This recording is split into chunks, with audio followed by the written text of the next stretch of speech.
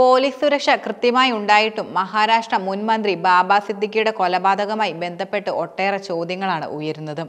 മകൻ സിഷാൻ സിദ്ദിഖിയുടെ ബാന്ദ്രയിലെ ഓഫീസിന് മുമ്പിലാണ് ബാബ സിദ്ദിഖിയെ മൂന്ന് പേർ വെടിവെച്ച് കൊലപ്പെടുത്തിയത്. ലോറൻസ് ബിഷ്ണോയുമായി ബന്ധമുള്ള അക്രമികൾ മാസങ്ങളോളം ആസൂത്രണം ചെയ്താണ് കൊലപാതകം നടത്തിയെന്നാണ് പോലീസ് വെളിപ്പെടുത്തിയിരുന്നത്. ധർമ്മരാജ് കശ്യപ് ശിവകുമാർ ഗൗതം ഗുർനേൽ സിംഗ് എന്നിവർ സിദ്ദിഖിയുടെ ഓരോ പരിപാടികളും പങ്കെടുത്ത് നീക്കങ്ങൾ മനസ്സിലാക്കുകയായിരുന്നു. അദ്ദേഹത്തിന്റെ വീട്ടിലും ഓഫീസിലും രഹസ്യാന്വേഷണം നടത്തിയിരുന്നു. വധഗൂഢാലോചന പ്രധാനമായും പൂനെയിലായിരുന്നു നടന്നത്. വധിക്കാൻ ലക്ഷ്യമിട്ടവരെ തിരിച്ചറിയാൻ വെടിയുതിർത്തവർക്ക് ഫോട്ടോയും ഫ്ലെക്സ് ബാനറും നൽകിയിരുന്നു.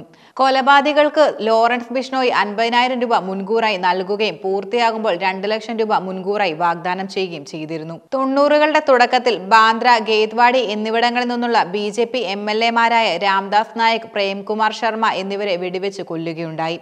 പിന്നീട് ശിവസേന എം എൽ എമാരായ വിത്തൽ ചാവാൻ രമേശ് മോറ എന്നിവരും കൊല്ലപ്പെടുകയുണ്ടായി. ബോളിവുഡ് താരം സൽമാൻ ഖാന്റെ മുംബൈ നഗരത്തിലെ വസതിക്കു നേരെ വെടിയുതിർത്ത സംഭവത്തോടെയാണ് ലോറൻസ് ബിഷ്ണോയുടെ സംഘം വാർത്തകളിൽ ഇടപിടിക്കുന്നത്. ക്രിമിനൽ പ്രവർത്തനങ്ങളിൽ ഏർപ്പെട്ടും ബോളിവുഡ് അഭിനേതാക്കൾ ഉൾപ്പെടെയുള്ള പ്രമുഖർക്കെതിരെ ഭീഷണി മുഴക്കിയും സംഘത്തിന്റെ നേതാവായ ലോറൻസ് ബിഷ്ണോയ് വർഷങ്ങളായി കുപ്രസിദ്ധി നേടിക്കഴിഞ്ഞു. ആയിരത്തി തൊള്ളായിരത്തി തൊണ്ണൂറ്റി രണ്ടിൽ പഞ്ചാബിലെ ഫിറോസ്പൂർ ജില്ലയിൽ തുതരൻവാലി ഗ്രാമത്തിലായിരുന്നു ലോറൻസ് ബിഷ്ണോയുടെ ജനനം. ബിഷ്ണോയ് സമൂഹത്തിൽ ഉൾപ്പെട്ടയാളായിരുന്നു ഇയാൾ. മിടുക്കനായ വിദ്യാർത്ഥിയായിരുന്ന ബിഷ്ണോയ് ചണ്ഡീഗഡിലെ പഞ്ചാബ് സർവകലാശാലയിൽ നിന്ന് നിയമബിരുദം നേടിയിട്ടുണ്ട്. കോളേജ് കാലത്താണ് ബിഷ്ണോയ് ആദ്യമായി കുറ്റകൃത്യങ്ങളുടെ ലോകത്തേക്ക് പ്രവേശിച്ചത്. വിദ്യാർത്ഥി യൂണിയനുകൾ തമ്മിലുള്ള ഏറ്റുമുട്ടലുകളിൽ ബിഷ്ണോയ് പങ്കാളിയായി മാറി.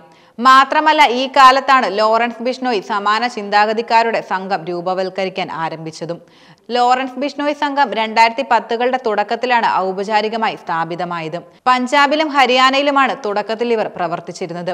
ഇതോടെ കള്ളക്കടത്ത് വാടക കൊലപാതകങ്ങൾ കവർച്ച തുടങ്ങി കൂടുതൽ ലാഭകരമായ വലിയ കുറ്റകൃത്യങ്ങളിൽ ഏർപ്പെട്ടു തുടങ്ങി.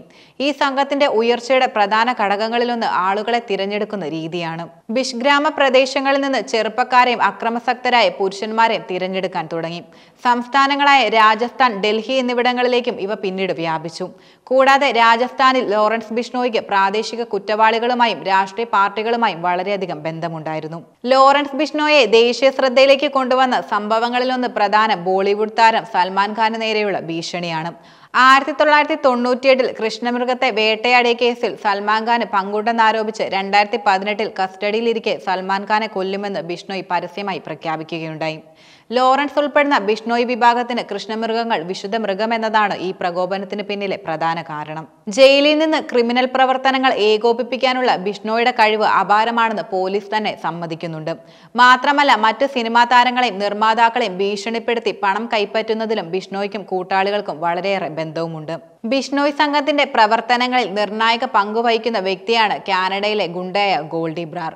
പഞ്ചാബിൽ നിന്നുള്ള ബ്രാർ പോലീസിൽ നിന്നും രക്ഷപ്പെടാൻ കാനഡയിലേക്ക് പലായനം ചെയ്തെങ്കിലും വിദേശത്തു നിന്ന് സംഘത്തിന്റെ പ്രവർത്തനങ്ങൾ ഏകോപിപ്പിക്കുന്നത് തുടരുകയായിരുന്നു. രണ്ടായിരത്തി ഇരുപത്തിരണ്ട് മെയ്യിൽ പഞ്ചാബ് ഗായകൻ സിധു മൂസവാലയുടെ കൊലപാതകത്തെ തുടർന്നാണ് ഗോൾഡി ബ്രാർ വാർത്തയിൽ പ്രാധാന്യം നേടുന്നത്. ബിഷ്ണോയ് സംഘമായ വിക്കി മിഡ്ദുഗേറയുടെ മരണത്തിനുള്ള പ്രതികാരമാണിതെന്ന് പറഞ്ഞ് ബ്രാർ കൊലപാതകത്തിന്റെ ഉത്തരവാദിത്തം ഏറ്റെടുക്കുകയായിരുന്നു. ലോറൻസ് ബിഷ്ണോയ് ഒന്നിലധികം തവണ അറസ്റ്റിലായിട്ടുണ്ടെങ്കിലും ബിഷ്ണോയുടെ സ്വാധീനമോ പ്രവർത്തനങ്ങളോ ഒന്നും തന്നെ കുറഞ്ഞിട്ടില്ല. മൊബൈൽ ഫോണുകളോ ഇടനിലക്കാരെ ഉപയോഗിച്ച് കൂട്ടാളികളുമായി ആശയവിനിമയം ബിഷ്ണോയ് നടത്താറുണ്ട്. ജയിലിൽ നിന്നും ഒരു ക്രിമിനൽ സാമ്രാജ്യത്തെ നിയന്ത്രിക്കാനുള്ള ബിഷ്ണോയുടെ ഈ കഴിവ് പോലീസിന് യഥാർത്ഥത്തിൽ വലിയ തലവേദനയാണ് സൃഷ്ടിക്കുന്നത്.